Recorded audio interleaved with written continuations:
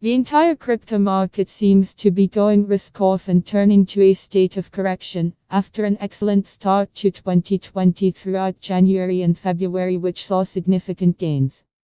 This is reflected in the brief pop in Bitcoin market dominance. But in the longer term, it is a different story, and we must always bear in mind the intercourse, the conflicting trends of different timeframes, and how they can still agree with each other. Here, rather than focusing on any specific crypto, we'll look at the market as a whole using some trusted indicators. We first look at a small to medium time frame chart of Bitcoin plus Bitcoin Bitcoin's market dominance arrayed against the others' market dominance, others being a basket of all altcoins below the top 10. This panoply of charts gives us a broad insight into the whole market.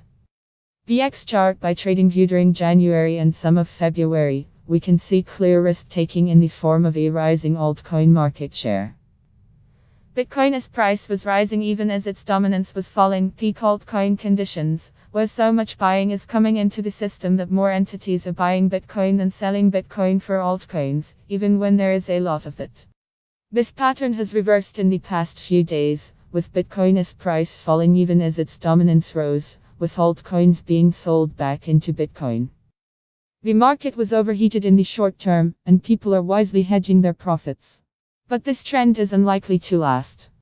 Zooming out and looking at a chart of Ethereum slash Bitcoin and both dominance charts again, with Ethereum being a general proxy for the altcoin market, we see a different story.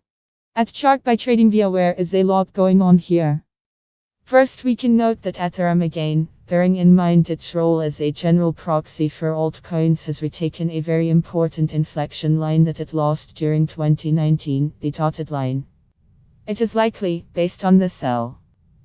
You can read full post on CryptoFans. News, link available in text below.